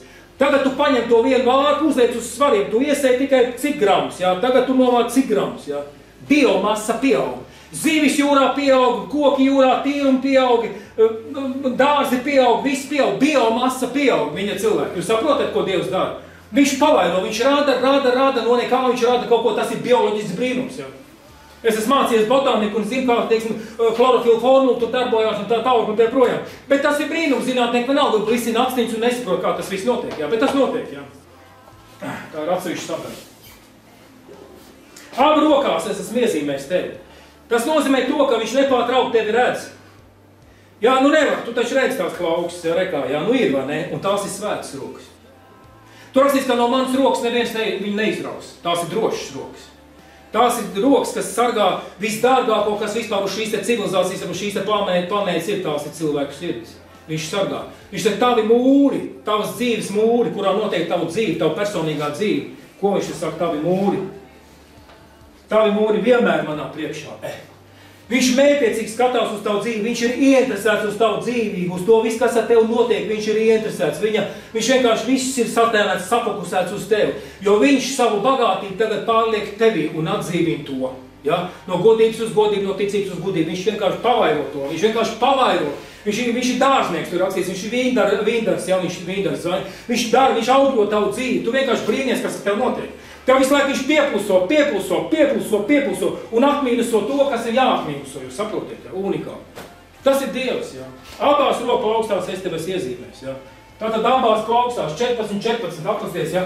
tās plaukstas viss ir pakārtotas godīgai dzīvei. 613, viss, viss saskanā. Viss tas 613 saskaņojas, ja tu mīli, ja tu esi apgaismots cilvēks. Viss tas ir šitā visa iekšējā loģika, mīļa cilvēki, tur uzkarās prāts. Tur uzkarās kompjūters, uzkarās, vienkārši uzkarās, mīļie cilvēki. Tas ir unikums, ja kas te, ko es tev rādīju. Vēl viena lieta. Paklausties. Iesākumā Dievs, pirmais, pirmais, pirmā mūsu, pirmā nodaļa, pirmais pants. Iesākumā Dievs radīja debesis un zemi. Faktiski viņš radīja esamību. Redziet, iesākumā debesis, viņš radīja debesis un zemi. Tā viņš to zemi tur sāk, tur stādīt ēdienas dārs, visa zeme nebija ēdienas dārs, tur viņš iestādīja ēdienas dārs un tā tālāk. Tā ir atsevišķi, tur ir unikāls lietas iekšā, kas attiecās uz, uz pirmajām trīs, ne vispār, viss sākums ir vienkārši unikāls, tur ir tik daudz informācijas interesants.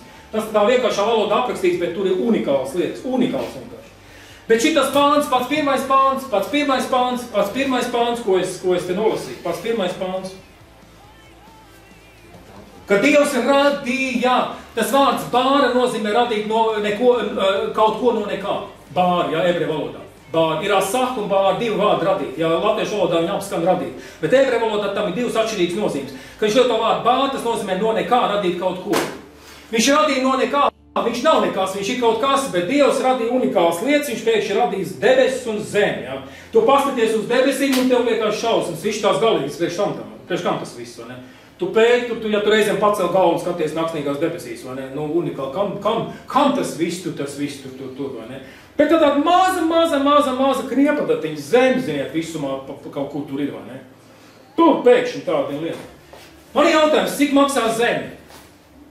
Kādā cenā viņi varētu būt? Ja tu paņem, teiksim, visu zemeslodi un tā teikt novērtē, jā, visiem, visām bankām, visām iegulām, ar visu, visu to, kas zeme ir, cik vērtīgi ir zeme kā tāda. Pareizi? Redziet, tā vērtība vispār nestāv pretī tavai vērtībai. Tāpēc, ka viņš nav atdevis zemi par tevi, jā. Kā bija vārdiņš tev? Lauri, jā. Ā, nebija vārdieni tev, ne? Nebija. Vakar, jā, jā, tu esi apsies.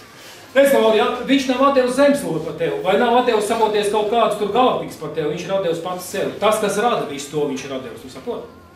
Pats radītājs ir atdevis sevi par tevi, par katru no mums, un mēs to nenovērtējam. Nu, es domāju, cilvēks to pasaulē, ja?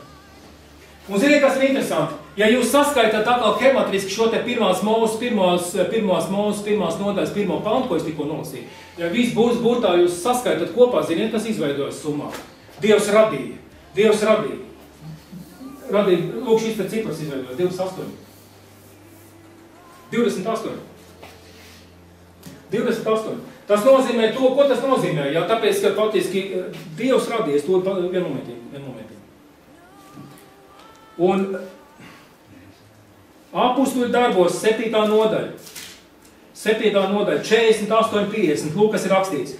Visaugstākais nedzīvo rokām darinātos namos, nemaz nemeklējiet viņu tur, jā. Ja? Kā pravietis saka, debesis ir mans godkrēsls, saklausies uzmanīgi, debesis ir mans godkrēsls, zem man kāja pamesls. Kādu namu jūs man uztaisīsiet, saka tas kungs, vai kur ir man dusmas vieta? Godīgi sakot, te vesels sprediķis nāk ārā. Un piestais pāns, vai mana roka nav to visu darinājusi? Ja? Redziet, kas paliek. Faktiski, nu, viņš nav vienrocis, ja? viņš ar abām rokām veido tās lietas. Lūk, šīs te rokas, jā, šīs te abas rokas ir radījuši visu, kas ir, jā. Ar vārdu starpniecību. Principā, redziet, tur rakstīts, ka ar vārdu, vārdu spēkā viss ir radies un tā tālāk. Principā, ziniet, ka viņš saka, Dieva pirkstu es izdzen ārā ļaunos garus, jeb ar svēto gadu, jā. Jā?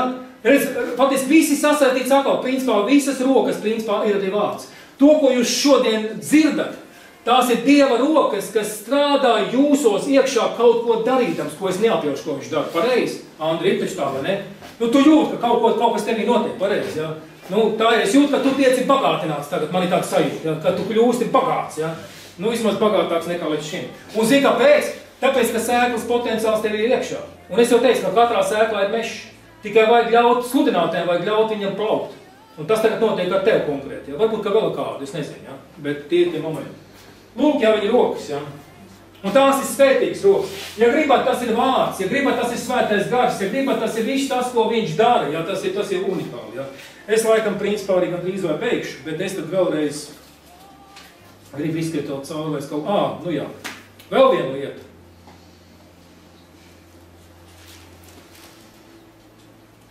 Tas ir, bet es tomēr, tomēr pieskaršos. Pirmās mūs, pirmās nodaļas 27. pāns. Te patvaļīgi tūkotājs izvēlējies vienu vārdu, kas oriģinālā nav. Es ļoti nopietni sekoju oriģinālu un skatos, man vajag precīzi tās lietas, ja tā var izteikties. Ja es te gribu kaut ko vispār nosacināt. Tur rakstīts tā, un Dievs radīja cilvēku pēc savu tēlu un līdzības latviešu ultimā. To līdzību var svītrot ārā, tur viņš nav oriģinālā. Pilnīgi svītrot ārā dzēšumu gumiju vai, vai to marķieru vai ko. Svītrot ārā, nav tur tāda lieta, nav. Tāpēc, ka katram vārdam te ir ļoti liela nozīme, un tajā pantā ir unikāls lietas iekšā, bet es pateikšu tikai lūk galveno. Dievs radīja cilvēku pēc savu tēlu, pēc savu tēlu viņš to radīja, vīrieti un sievieti viņš radīja. Pāns iepriekš ir rakstīts tā, tā Dievs sacīja, darīsim cilvēku pēc mūsu tēlu un līdzīgs, un mūsu līdzīgs. Ir divi termini, tēls un līdzīga, tēls un līdzīga. Ebreju valodā lūko nozīmē tēls, Dieva tēls mūsos, ir tas tā iekšējā pasaulē, tas garīgais akcents. Līdzīgi tas ir ārējais skelets, ja ārējā forma. Tātad viņš radīs mūs pēc savas tēla, pēc savas iekšējās tāds, kāds viņš ir, un pēc tās formas, kāds viņš ir. Tēls un līdzīgi. Tad, kad cilvēks krita grēkā, viņš pazaudēja Dievu tēlu, Dievu iekšējo saturu. Un viņš palika līdzīgs Dievam. Un ko dara Sātans? Sātans panāca, ka viņš krīt grēkā un viņš atņēma Dievu, Dievu tēlu no viņa izrāvā ārā. Ja? Viņš vairs neattēlo Dievu, viņš attēlo principā kritušu personu tagad dotē momentā cilvēks bez Dieva. Bet viņš paliek līdzīgs Dievam.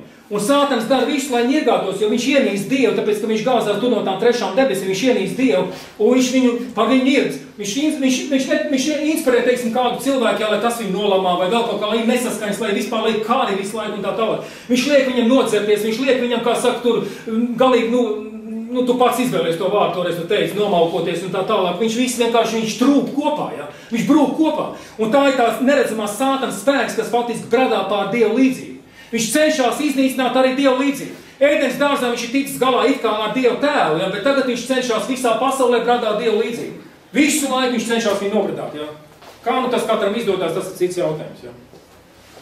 Un ziniet, tas vārds tēls pēc sava tēla, pēc, sava tēla, pēc Dieva tēla. Ja jūs saskaitāt kopā, ja jūs saskaitāt kopā divus eh, tos burtus, ja, tad veido šī tāda cipara summa. 248, ja? Pēc tēla, pēc tēla, pēc iekšējā tēla.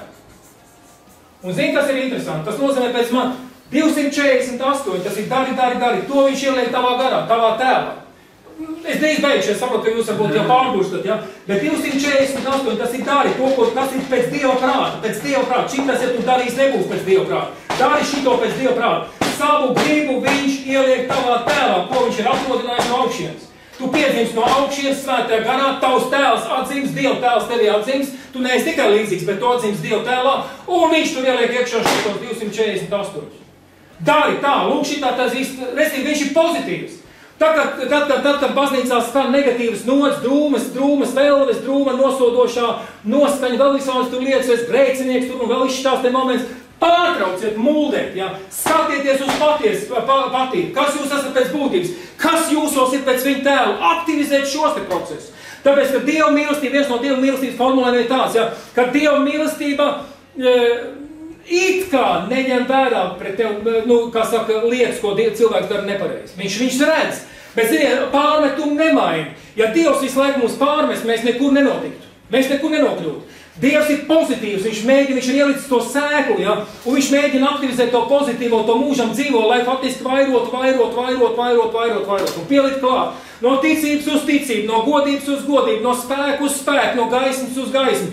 Viņš mūs audzē kā dārzu kuram no vienas sēklas top skaistas lietas, jūs saprotat, ja? Tu esi iet, tavu iekšējā pasauli tiek apdārzota, ja drīkst tā teikt, ja?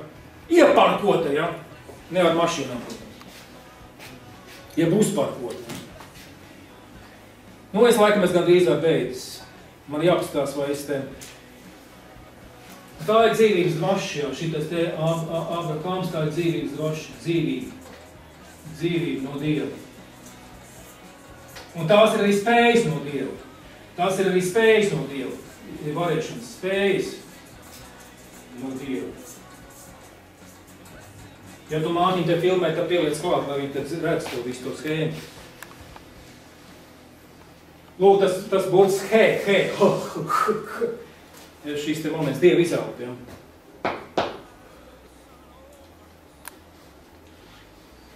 Redziet, kad iet runa par bauslību, es tev pateikšu 613 baušļi. Ebreji uzskatīja, ebreji, no kurienes viss tur tas nāca, viņiem tiks, tas ir dots. Bauslības nolūks ebreji prāti ir apgaismot personību, apgaismot tavu dzīves laiku un apgaismot tavu dzīves telpu.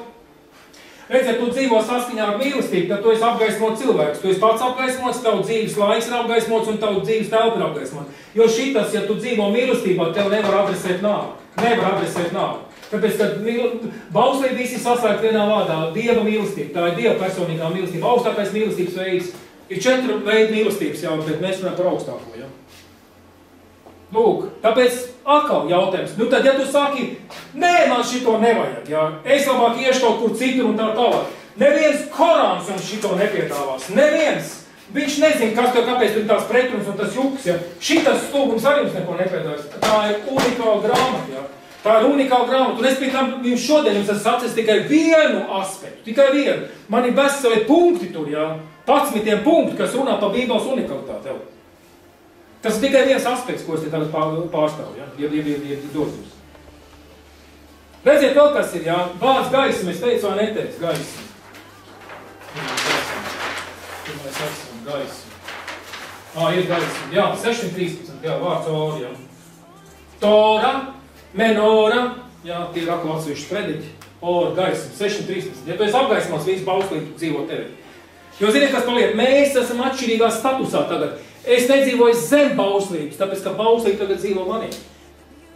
Un svētais gars ir dzīvo pilnīgā saskaņā ar bauslību. Neskat, ka bauslība nav, bet es neesmu pakātots viņam kā vergs, ka, ka es esmu zem bauslību, tad bauslība svētā garā ir manī. Un es esmu pakātots tagad Jēzum Kristum. Tā ir atšķirība. Tā ir atkal atsevišķi predikti, jūs saprotiet, ja? un tā ir brīvība. Ja?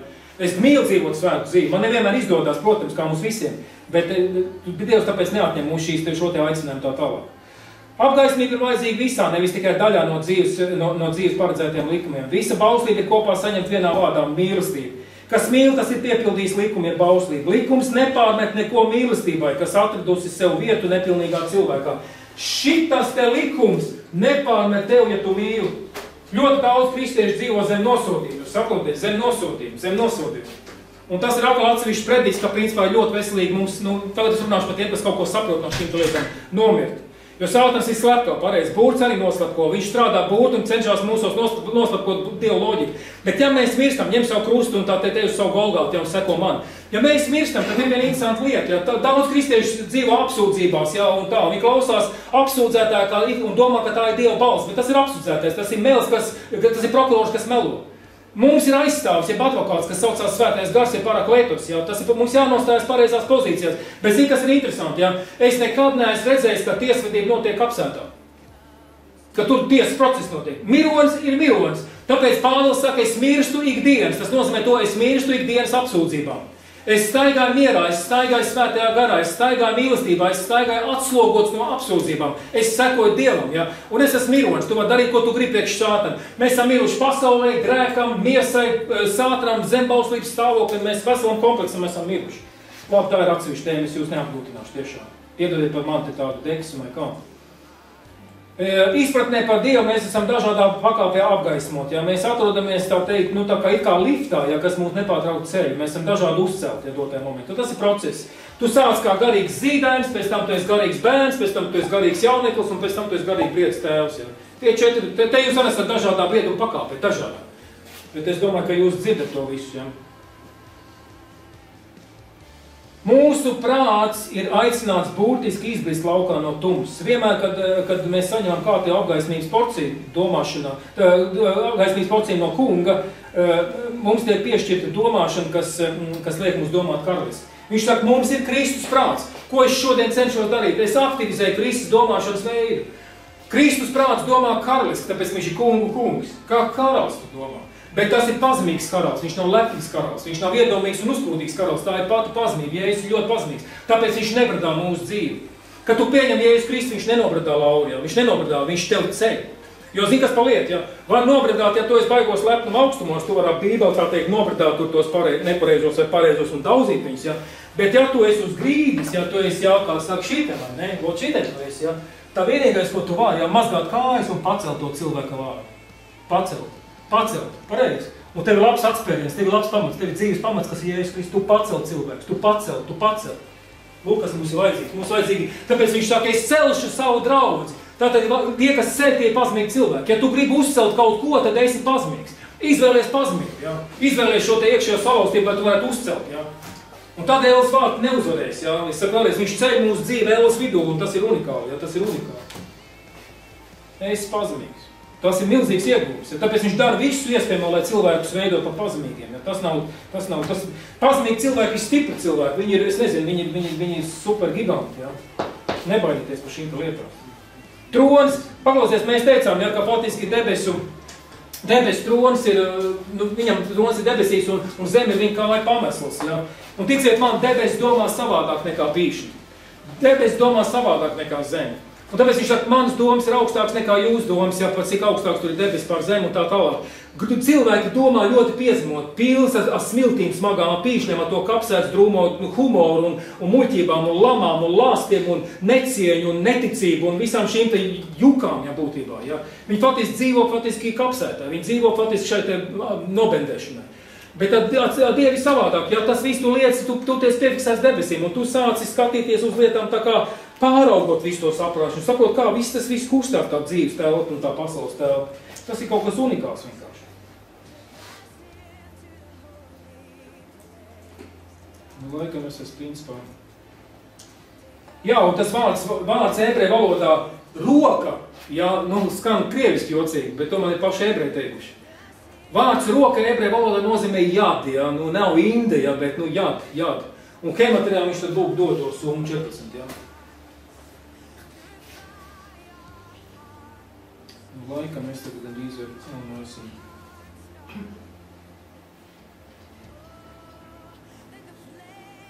Huh. Wow.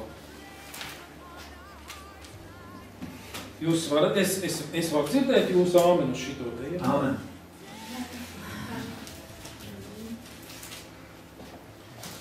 Laura, pareizi, vai ne unikāli, ja? Jā. Unikāli. Nav vispār, saprati, es nezinu, kas varētu oponēt, kura no ticības formām, eh, kura no reliģijām varētu oponēt kaut kam šitam te. Cilvēks šito izdomāt vienkārši nav spējīgs. Viņa spēkos nav, nav kaut ko tādu s- sajūt. Tas ir tikai viens no piemēriem, tādi daudz. Saprotiet, jā? Tādi daudz. Un tā nav sagadīšanās, jā. Tā ir loģika, jā. Tā ir likumsakarība, jā. Debes Tēvs, es Tev pateicos par gudrām sirdīm, es Tev pateicos par atvērtām sirdīm, es pateicos par sirdīm, kas spēj ieklausīties un nopietni Dievs, kungs, to ņemt vērā. Tēvs, es Tev ļoti lūdzu, kungs, lai, lai cilvēki ir apgaismot, lai cilvēki ir stipri, lai cilvēki ir celti, lai cilvēki, Dievs, kungs, iepazīst Tavus dziļums arvien vairāk un vairāk. Kungs, es svētu cilvēkus uz šo, uz šo aicinājumu, uz šo izdošanos. Es Tev ļoti lūdzu, lai mēs izgaršojam debes, debes, debes gardumu, jā, lai, mēs, lai mēs baudam, ka Tu esi labs mans Dievs. Tu tiešām tas baudīji, ka Dievs ir labs Dievs. Tu esi patiešām labs. Tu esi tik gards, tu esi tik, tik baudāms, tu esi tik fantastisks Dievs. Tu esi mūsu dzīvības ēdiens un dzīvības dzēriens, mans Dievs. Paldies Tev, Tēvs! Paldies, Dievs, kungs, ka šodien tauta ir pabarota, Dievs, kungs, un padzirdīta, Tēvs. Es Tev ļoti pateicos, Tēvs, ka viņi kaut ko šodien saņēmuši pie Tev karaliskā galva, Tēvs. Ja es vārdā, kungs, es sveicu cilvēkus turpmākai dzīvē uz augšu. Lai Dievs, kungs, patiešām progress mums nav svešs. Un mēs pagriežam, Dievs, kungs, savus, savus, savus asis iepratī Tev, Dievs, kungs, un sekojam Tavām, pē- tavām pēdām, Dievs. Jo tā būs mūsu izdošanās, tā būs mūsu, tas būs mūsu sekums, Dievs, kungs, tas būs mūsu rezultāts, un tā būs Tavas slava, Dievs, kungs. Pagodinies cilvēku dzīvēs, Dievs, kungs, no šī brīža un arī turpmāk. Es vārdā bez apstājas. Amen, amen. Nu, paldies. Paldies.